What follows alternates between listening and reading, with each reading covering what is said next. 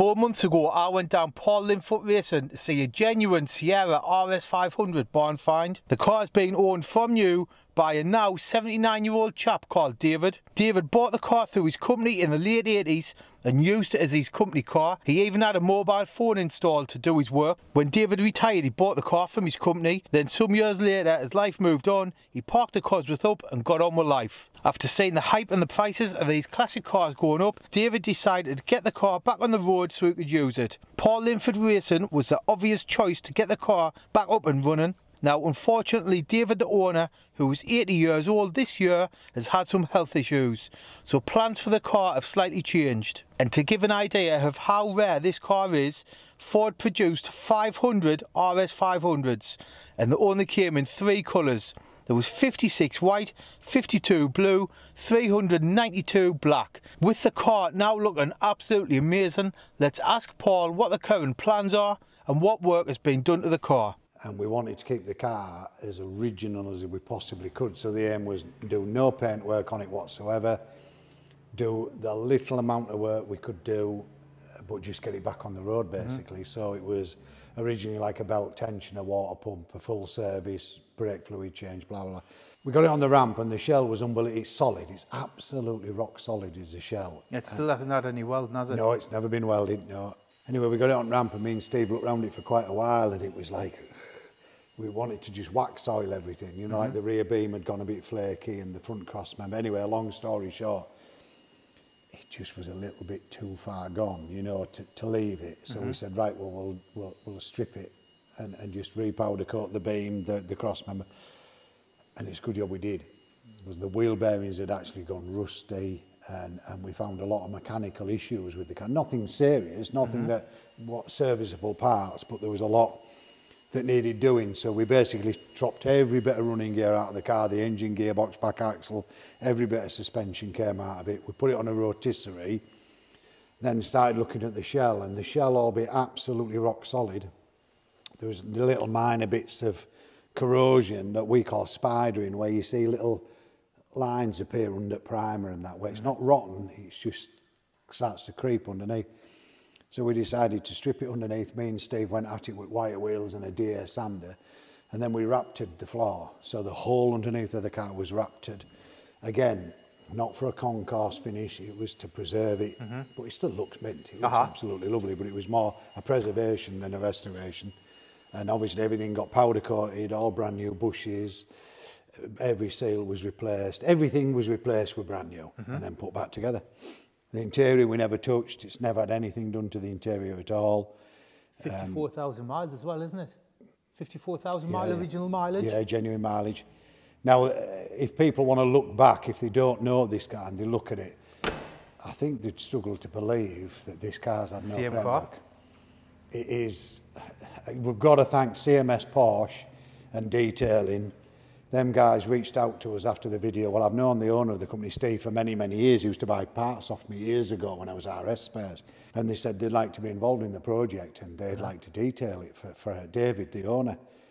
And we said, yeah, yeah, you know, great. If you want to yeah. come and do it, that's brilliant. And they came up here for two days and they worked like till 10 o'clock at night for two days. Aye. And it took a, a lot more than they expected. They did like a three-stage cut on it to get the paint back Anyway, they never managed to get it finished, so um, they wanted to do a final polish and then um, the, uh, what do they call that protection? Ceramic coating. Ceramic coating. I'm telling him, Sean, getting Alzheimer's.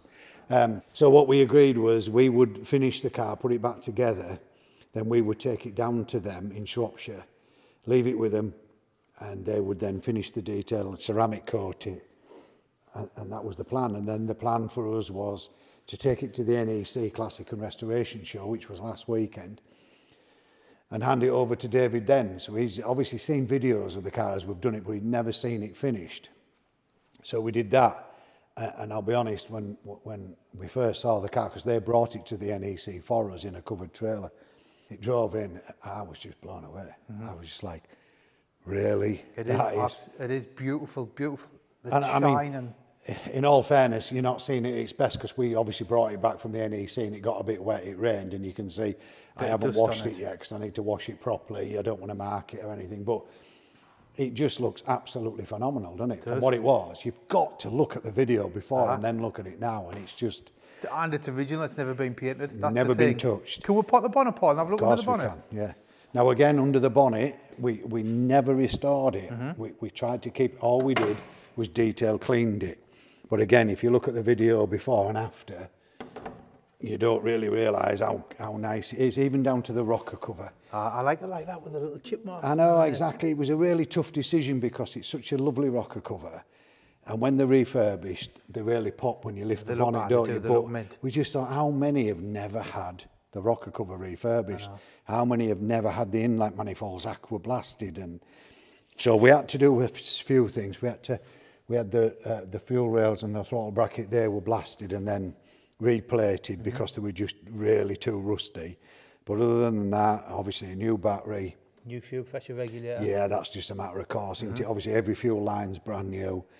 Um, but all the original hoses that we were worried about normally, uh, you, you go like that and they all crack. Turn like plastic, don't they, instead of rubber? Yeah, they were mint. Were as they? you can see, that all the original hoses and they were absolutely mint. So you put, did it have a, it had an aftermarket exhaust on, didn't it? Yeah, it had a big bar exhaust so on. We put, um, on. Yeah, one of the reproduction standard exhausts. We put new suspension on it because the, the suspension struts and that had just rusted that bad. Um, so we got some uh, Bill Steins painted in black so they look OE. So when you look mm -hmm. underneath, it looks original. Wheels have obviously been refurbished. Again, a company reached out to us. Is this who restored the wheels? They did the wheels for us um, and, and a fantastic ah, I job. did a good job, mind. Oh, absolutely, meant we were made up with the wheels, like. Because um, I've tried a few companies to get these wheels done, and nobody seems to do them right. You can't get the caps back in, or you can't get the locks back in, mm -hmm. or they, they just don't listen to what you want.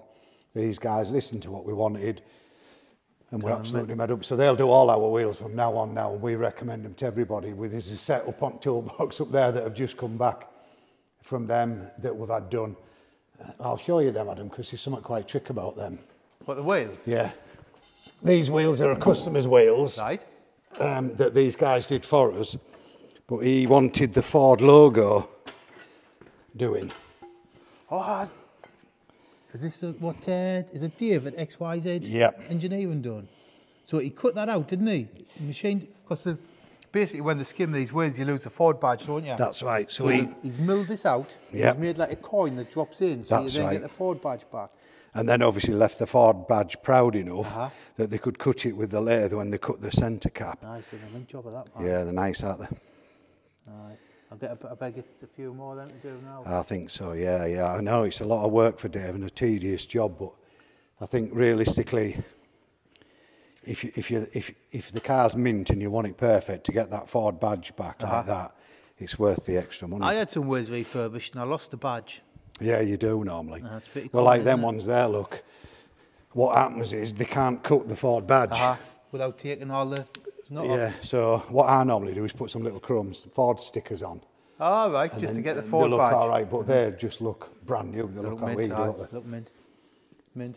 So as well, unfortunately, Is this car come up for, it's come up for sale now, isn't it? Yeah, I mean, David, all he was really bothered about was could he have the car back for his 80th birthday, which is in June. Uh -huh. He wanted to drive it. Anyway, we've done that, but because of his health condition, he said to us, look, Paul, he said, while it's at its best, if you will, while everything's brand new, while it's looking its best, it makes sense to sell it mm. now. So we brought it Such back with us we, we, we unveiled it to him at the NEC, which is great. We, we'll do our own video on that on, on my channel mm -hmm. of him seeing it for the first time. And he was quite overwhelmed. He brought all his mm-hmm. family mm -hmm. with him and he was quite overwhelmed by it, which was lovely. So he asked us to bring it back. So we brought it back now. We're just going to give it a quick clean, bring it back up and then put it up for sale. Is it tax and tested now? MOT'd, yeah, mm-hmm. obviously mm -hmm. uh, not taxed, but not it's taxed. MOT'd, all the tracking and everything's been done, so it's ready to go. But David, he's going to come up one day and take the car for a drive. You know, he's not going Right. to sell it without driving it again, so he's going to come up and have a day here Uh-huh. and take it out for a spin. We're leaving the phone in, which we think is just I would leave that in. proper cool, that, innit? I'm going to be looking on eBay for one for my car now. To be honest, you know what? I thought about if you could get someone real clever with electronics and get an old iPhone. mobile, yeah, and put, and put it in there so it worked, it'd be worth it, wouldn't it? Would, it would. But yeah, we're, obviously Davey's over at moon with it. Me and Steve are absolutely over at moon with it. We think we think we we, we think we've done it right. We've, ah, we've I done do. only what it needed, no more, no less. Um, and and and it, it starts, it drives mint. It's never been welded. We've done no paint work on it. The only thing we have done, if you remember, it had fog lights in when it oh, came. Oh, right, yeah. So you've put the grills in? We put the grills in. And the two reasons for doing that. One, we think they look better with the oh, grills in. With the grills. And two, when we took the fog lights out, they fell to bits. Did they really? Yeah, the glass fell off them. They were corroded, so... The indicator was smashed on the... This side, yeah. Came in, didn't so it? we put a pair of brand new ones in. Ah, oh, mate, it looks incredible. Uh, honestly, looks incredible. You, you have to sort of just touch yourself really a little bit and, and think, look at a picture of what it looked before, and look at that, and I put just some footage in of it before, so yeah, I think see, you've got to do because I don't think people will, will, will appreciate how bad it was. 27 years sat in a barn. It was just matte black, wasn't it? It was just Mm-hmm. Was. completely matte black. It was. And under bonnet was just absolutely filthy.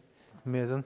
They had quite a lot of money spent on it, so for anybody looking to buy one, where do you get a one owner, Totally original. totally original, never been never been restored as in stripped and repainted or anything like that? And Right, fellas, thanks for watching. I hope you enjoyed that. If you are interested in the car, I will leave links to Paul below, his email address, and Paul's got a YouTube channel where you can go back on his videos. You can see the work they've done on the car. Um, but again, mate, thanks for having us down. No, thanks for you're taking the time out your day. And I hope the car finds a good owner. Yeah, sure I think it will. I, I think it will. The, the cars had a lot of a lot of coverage, hadn't Mm-hmm. Your channel, our channel. And while it was at the NEC, three magazines have seen it on Really? YouTube, and they've all asked if they can do a feature because they like the story about Uh-huh. it being stood and it's one on owner, blah blah blah. So I think it's uh, without fail, like it. I think um, you know, I think it's a nice car for somebody to buy a one owner, is. fifty-four thousand mile un, unrestored as in paintwork car. So yeah, if anybody is interested, the car's for sale, they can get in touch and come and have a look. Aye, nice, nice investment, nice car. But yeah, again, fellas, thanks for watching. Thanks to Paul for having us down. And I'll catch you on the next video. Cheers.